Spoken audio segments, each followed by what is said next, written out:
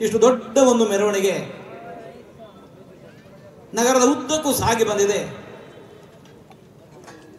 ಎಷ್ಟು ಅಂಗಡಿಗಳಿಗೆ ಕಲ್ಲು ಬಿತ್ತು. ಎಷ್ಟು ಮನೆಯ ಕಿಟಕಿ ಬಾಗಿಲು ಒಡೆಯಿತು. ಎಷ್ಟು ವಾಹನಗಳು ಹುಡಿಯಾದವು. ಯಾವ ಪ್ರಾರ್ಥನಾ ಮಂದಿರಕ್ಕೆ ಬೆಂಕಿ ಬಿತ್ತು. ಇಲ್ಲ. ಯಾಕೆ? ಯಾಕೆ ಅಂತಂದ್ರೆ ನಾವು ಶಾಂತಿ ಪ್ರಿಯರು ರಾಮೋ ವಿಗ್ರಹವಾನ್ ಧರ್ಮ.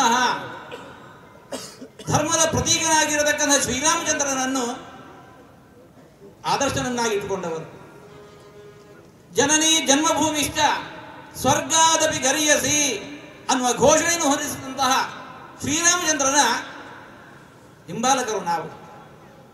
ಈ ದೇಶದ ಕಣ ಕಣವೂ ಕೂಡ ನಮಗೆ ಪವಿತ್ರ. ಮಾತೆಯರಲ್ಲಿ ನಮಗೆ ಸ್ವರ್ಗಕ್ಕಿಂತಲೂ ಮಿಗಿಲು.